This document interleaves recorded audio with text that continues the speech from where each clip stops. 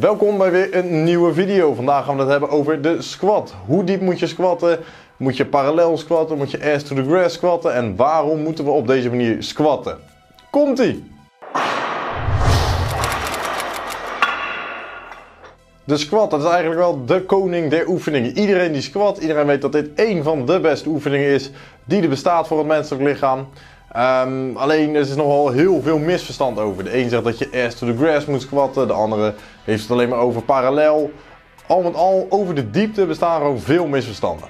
Ik ga je vandaag uitleggen wat wel klopt en wat niet klopt.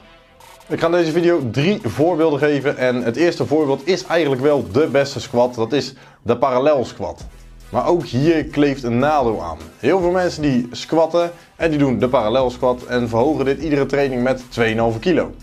Alleen doordat ze het iedere training of iedere week gewoon verhogen, dan gaan ze eigenlijk onbewust squatten ze steeds een klein tikje hoger. Hierdoor lijkt het dus alsof je heel veel sterker wordt. Alleen het probleem is dat je eigenlijk gewoon de range of motion een stuk verkleint. Je wordt dus niet zozeer sterker, je begint de oefening alleen verkeerd uit te voeren, waardoor het dus lijkt alsof je sterker wordt. En op een gegeven moment voer je dus eigenlijk halve squats uit of misschien zelfs maar kwarte squats. En op zich is hier niets mis mee. Alleen als je dit keer op keer gaat herhalen, dan kan dit problematisch worden. En ik zou je uitleggen waarom. Je quadriceps die hechten vast aan de heup en aan de andere kant aan de knieschijf. En aan de knieschijf zitten weer een paar pezen naar de voorkant van het onderbeen. En als we dan naar de hamstring kijken, dat is de tegenovergestelde spiergroep, die hecht ook vast aan je heup en hecht hieronder vast aan het onderbeen. Het punt is als wij altijd kwarte squats gaan uitvoeren in plaats van normale powerlifting squats, oftewel parallel squats, eigenlijk iets dieper, daar zit nog een verschil in, kom ik zo op terug. Dan is er een kracht die ervoor zorgt dat het onderbeen niet naar voren wordt getrokken. Op het moment dat ik op deze manier squat, is de quadriceps dominant en de hamstring niet. Wat er dus gebeurt is dat deze kleine pees, als het ware, als dit mijn onderbeen is en dit mijn bovenbeen en ik squat te hoog, dus in deze positie, als het ware wordt mijn kniegewricht en mijn onderbeen als het iets naar voren getrokken. Wat we willen is dat die hamstring op spanning komt door op een normale diepte te squatten, komt er ook veel spanning hierop te staan, zodat mijn knie en mijn onderbeen niet eh, wel naar achteren toe worden, kunnen worden getrokken. Oftewel, er moet evenveel kracht zijn, zodat dat onderbeen en dat kniegewricht niet beweegt. Het enige wat we willen is dat hij heen en weer gaat. En we willen geen glijden naar voren of glijden naar achter hebben.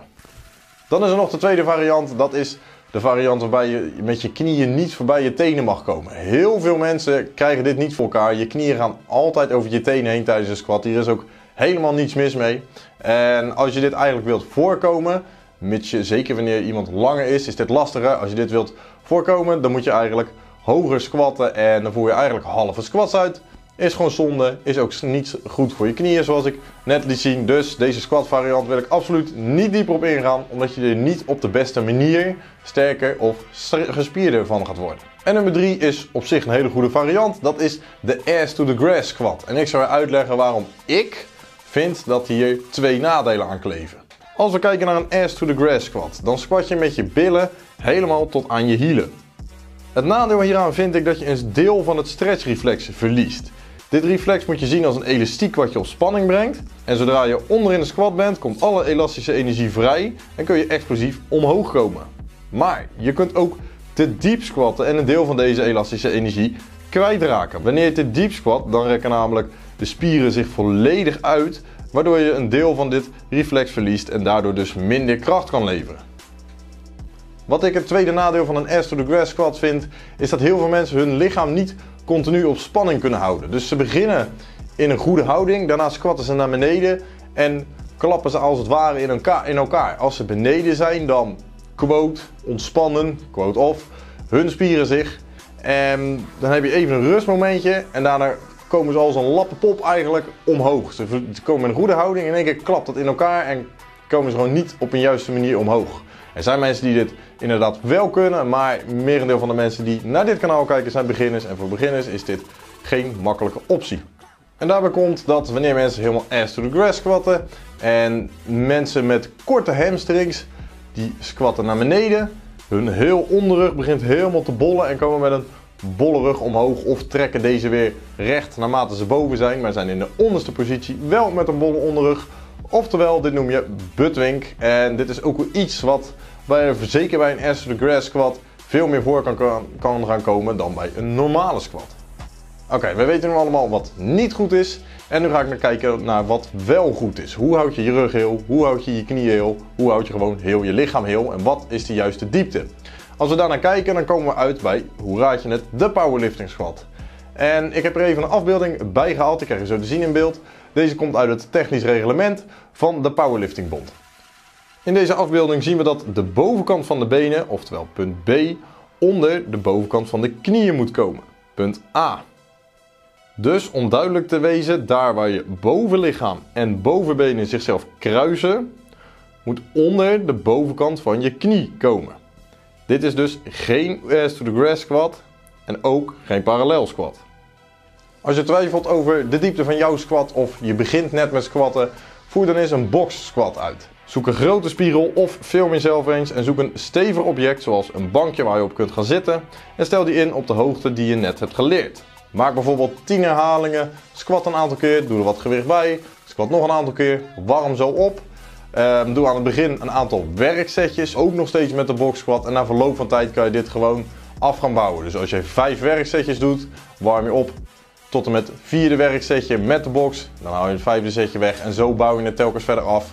En het zou ook nog wel eens makkelijk zijn, kunnen zijn voor mensen die eigenlijk hier niet aan wennen. En dat zijn er best wat om met een box te beginnen, gewoon de 10 herhalingen te maken en vervolgens de box weg te halen en dan gewoon door te gaan met dezelfde manier van squatten zoals je altijd doet. Puur zodat je de eerste 10 herhalingen goed in je hoofd hebt en dat je lichaam goed weet, oké, dit is de diepte waarop ik moet zakken. En dan gaan we naar het volgende punt. Wat als je weet hoe diep je moet squatten, alleen je haalt het niet. Dan is het slim om naar je enkelflexibiliteit te kijken. De meeste mensen weten wel dat de kuitspieren uit twee belangrijke spieren bestaan. De gastrocnemius en de soleus. Het is alleen wel belangrijk dat je specifiek de soleus oprekt voordat je begint met squatten, aangezien deze spier ervoor zorgt dat je met de voet omlaag kan bewegen wanneer je zit. Als je alleen de gastrocnemius stretcht, dan heeft het stretchen nog steeds weinig nut, omdat deze ervoor zorgt dat je je been omlaag kan bewegen wanneer je staat. Dit is een gastrocnemius stretch. En dit is de stretch die je wilt doen voor de soleus. Een tweede optie is om te squatten op een verhoging, zodat je minder flexibiliteit in je enkel nodig hebt. Of je kunt speciale squatschoenen maken. Hier heb ik een aparte video voor gemaakt en die komt nu rechtsboven in beeld en ga ik in deze video dus niet verder op in. En de laatste optie die ik echt als laatste zou bewaren is om je voeten iets wijder te gaan zetten.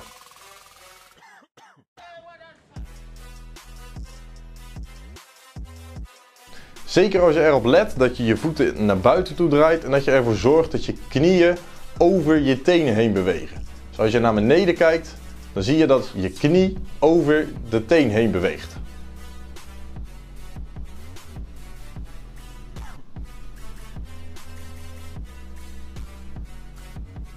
Zeker als je aan het stretchen bent en je probeert hier echt aan te werken, dan kun je iedere week je voeten een klein beetje dichter bij elkaar zetten totdat je de juiste squatdiepte hebt bereikt en zodat je op een goede manier kan squatten. Wil je nou nog meer van zulke soort video's zien? Neem dan eens een kijkje op mijn kanaal. Daar vind je allemaal fitness gerelateerde video's.